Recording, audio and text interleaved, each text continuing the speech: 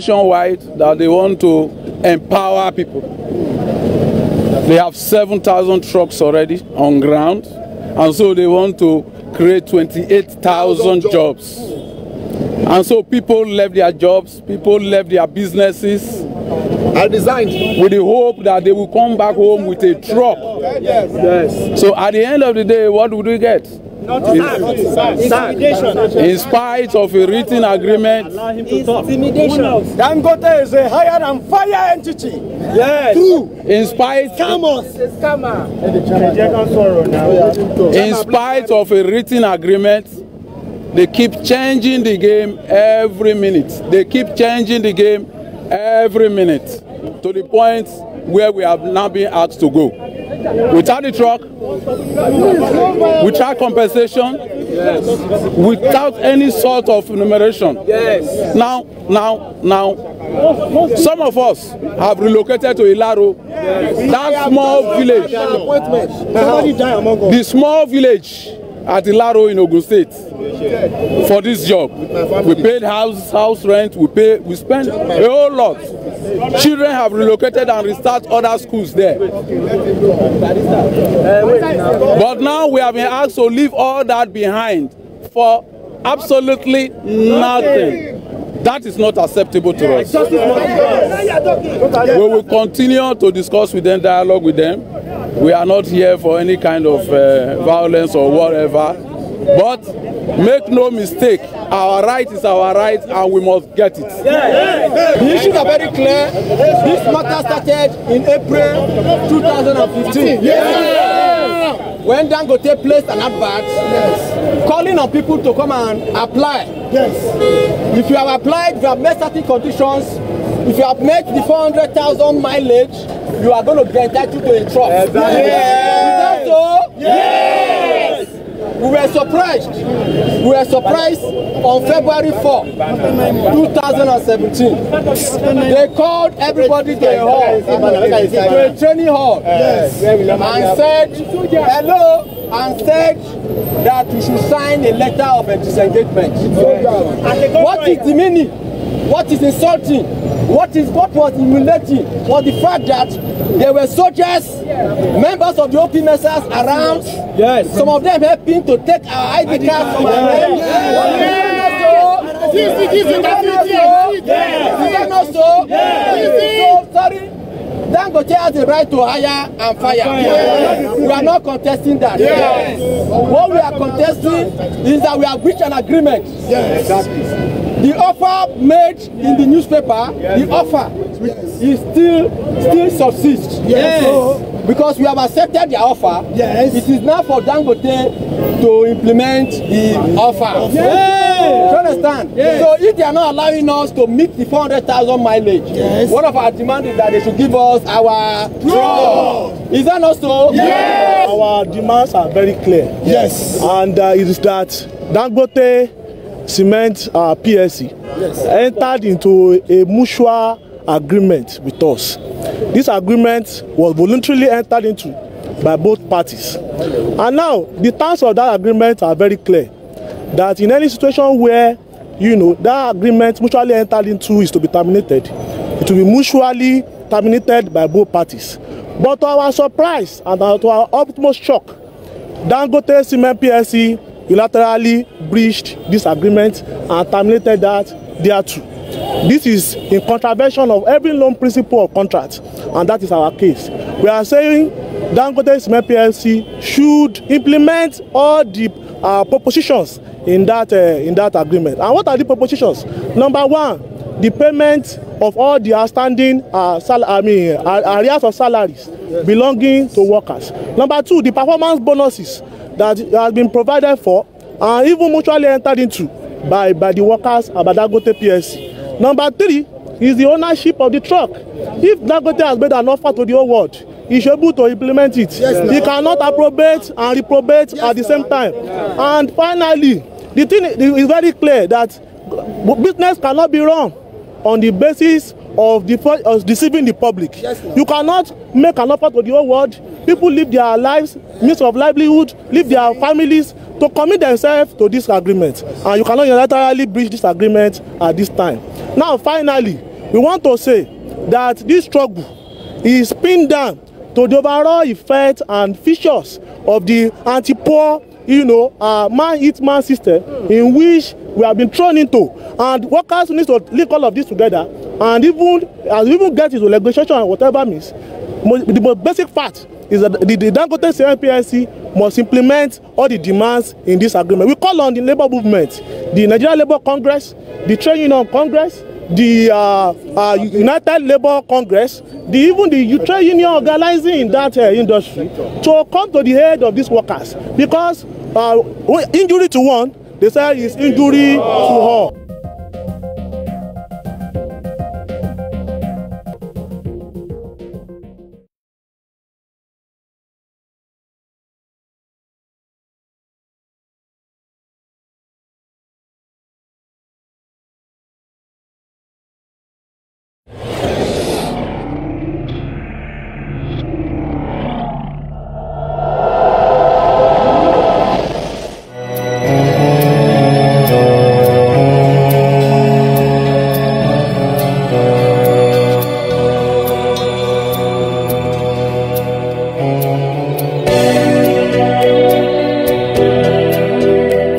His business acumen has been amply demonstrated in successful investments in sugar, flour, steel, salt, pasta, real estate, and beverages. He has also conquered the cement manufacturing business. Indeed, his company is Africa's leading integrated cement company, engaged in the manufacture, preparation, importation, packaging, and distribution of cement in Nigeria and 14 other African countries.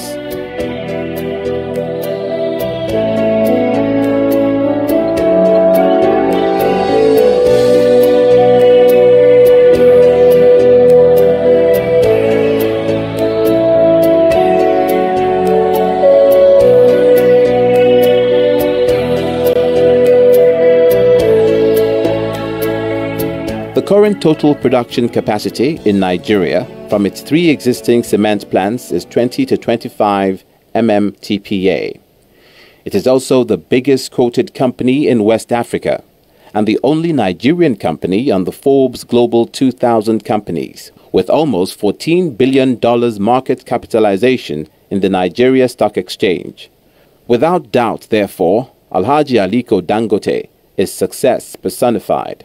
What gives me joy is how many people have actually helped through job creation, through doing so many things, you know, and in future I want to make sure that Nigeria is self-sufficient in rail lines, uh, in power, in a lot of things. Three years ago, the Dangote Group, which focuses on provision of local, value-added production and services that meets the needs of the African population, approached the Central Bank of Nigeria to indicate interest to invest in refining crude oil so as to facilitate the production of petrochemicals, fertilizer, and fuel.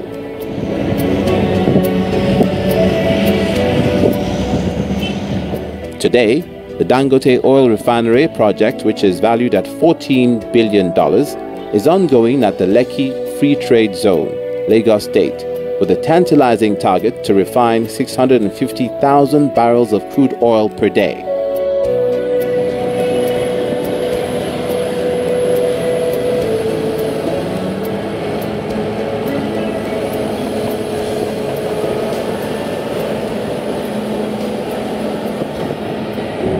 Uh, the area of the refinery, that is the area of the plot plan, uh, refinery plot is uh, 2,135 hectares. It has various process units and uh, then dispatch facilities. Uh, it has its own captive power plant, uh, sulfur dispatch facilities. It has a flare unit. it is a self-sufficient refinery that produces the power within the refinery, what is the power consumption required. This refinery will produce gasoline, diesel, aviation fuel, household kerosene, slurry as raw material for carbon black, as well as 2.8 million metric tons per annum of urea and ammonia.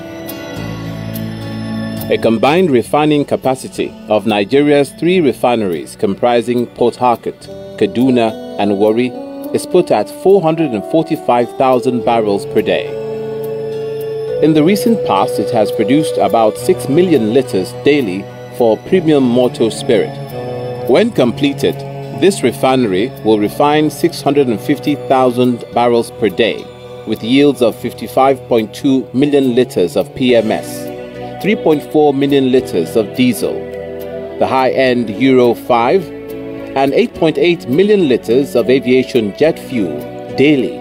At 55.2 million litres of PMS, Nigeria's daily consumption of 40 million litres is already taken care of. Before now, Nigeria was a paradox, being one of the world's largest producers and exporters of crude oil, and yet one of the biggest importers of refined product.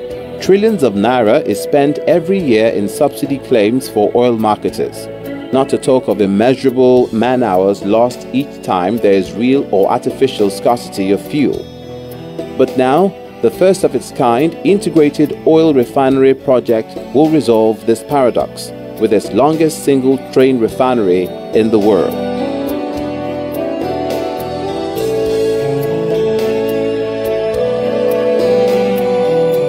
In Dangote Group, we like challenging things and we like to make sure that we do things where we'll make our country proud and also self-sufficient.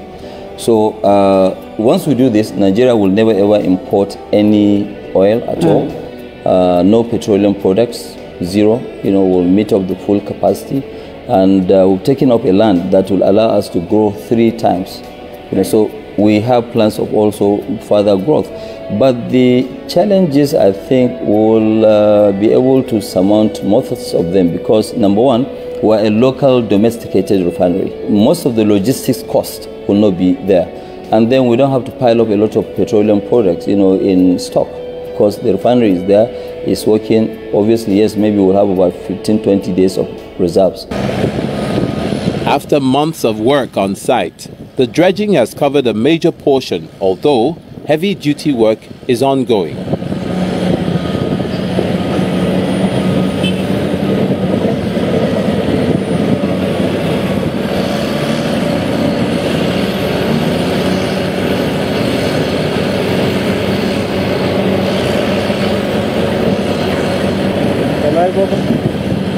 The activities and spillover have also been well thought out, and a smooth supply and distribution system is what will be obtained here.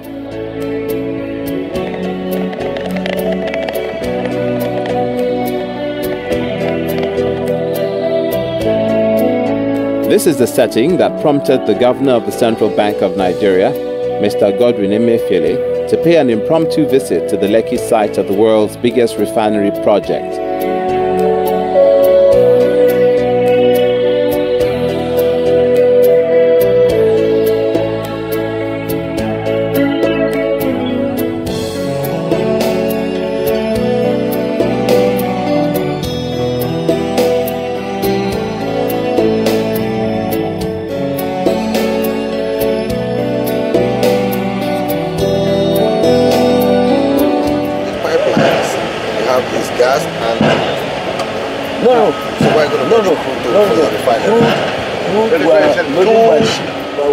Inside the sea, they call them uh, SPMs.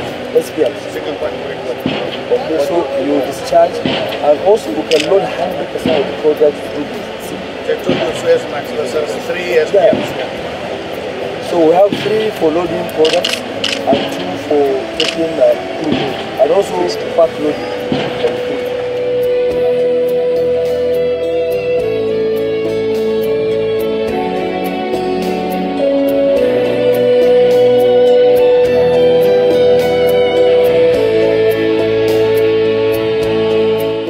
The visit, which was like the gathering of eagles, afforded the CBN helmsman the opportunity to jaw with Africa's greatest entrepreneur of all times on the critical need for a foreign exchange portfolio that will aid the importation of critically needed equipment.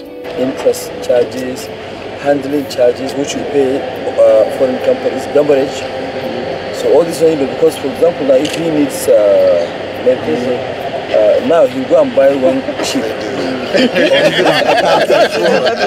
That's what he does. you go and buy 35,000 tons. He doesn't have to buy. He will just say, okay, finally, every day give me 3,000 tons. So okay, so you don't need all the storage, all the other shit. His bank will issue us SBLC and uh, every day and uh, supply at the end of the month. We even give him credit, at the end of the month. So we too we create also with our own bankers will now be paying on our behalf to NNPC for so all the transactions instead of being avoided, yeah. yeah. right yes, so the banks will make money instead of taking the business out there. Shipping companies will not collect also those thirty thousand dollars per ton. That they do when they don't come. Which now because you know central bank will open LC those uh, guys they will collect their own and that's and also 26 keep naira per liter. business and that's 26 Naira per liter. so see this one is how they come you know it's a precast driven pipe it's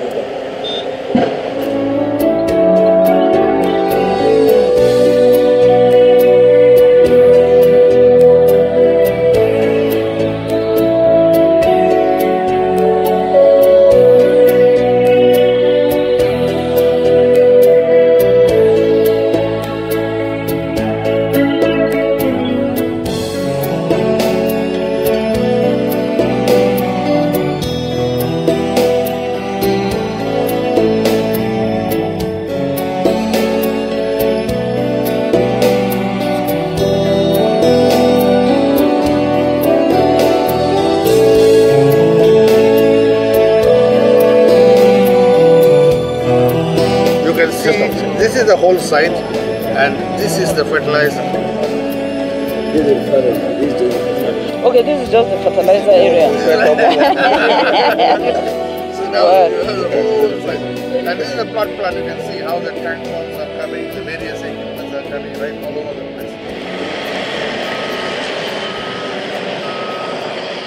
apparently elated by the noble and patriotic vision that gave birth to the Dangote oil refinery project, as well as the infectious commitment of the investors towards the success of this ambitious enterprise. The governor of the central bank said, Your ongoing $14 billion refinery investment will enjoy our support, no doubt. We are doing this to fast track the importation of equipment you need for a speedy completion of that project and to encourage other Nigerians to follow suit. This tour is necessary to lend our support to this laudable project that will transform Nigeria's downstream oil sector. About two and a half to three years ago, he actually um, came to the banks. At that time, I was, at, I was an operator.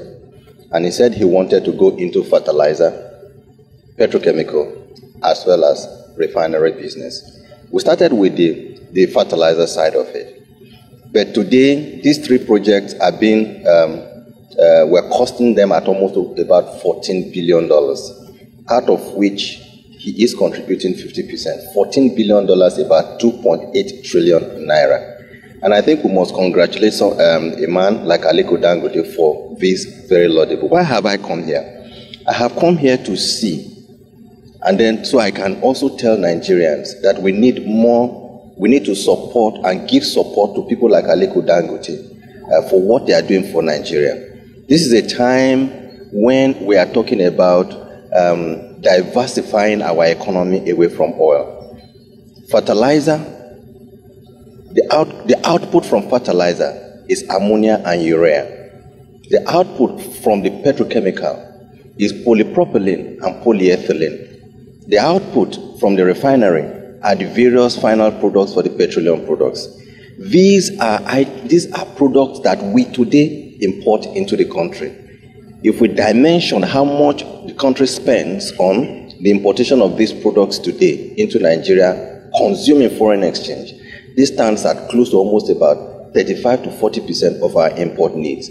So you can imagine what would happen to the, the, the, the, the, the savings in foreign exchange by the time the fertilizer is completed in 2017 and by the time the petrochemical and refinery project is completed during the early part of 2018. we expect that by the time these projects are completed, we will not only service, it will not only meet the needs of our domestic requirements, but by the time it is completed, we will be, he will be exporting these products to the point where he will be selling foreign exchange to Nigeria, to Nigerians, and to Central Bank of Nigeria to the tune of almost about $6 billion a year. That is the kind of project that we think we should support. And we think we need to encourage more Nigerians to begin to think like Aliko Dangote. once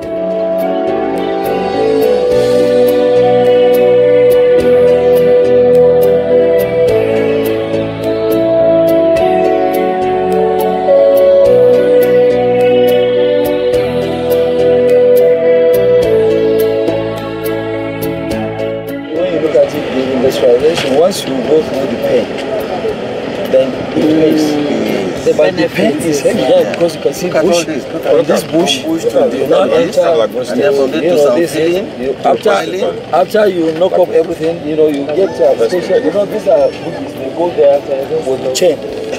You can float in the water. You can float and either you can float in water. If you float on water, uproot all these trees, then you burn them. After you burn them, now you clear them out, then now you put Sand.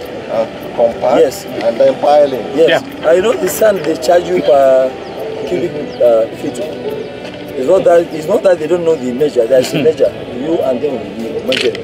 Like our own now, if we exceed that Who is two charging you? million- The people who are Who are some? measure. Ah, okay. Uh, it's not. Uh, it's not that they just come and feed everything. That's no, no, Tanzania, no. right? But no, no, no, no, no. This young, you know, they're the biggest in the world. I told you now from Belgium. Belgium. Those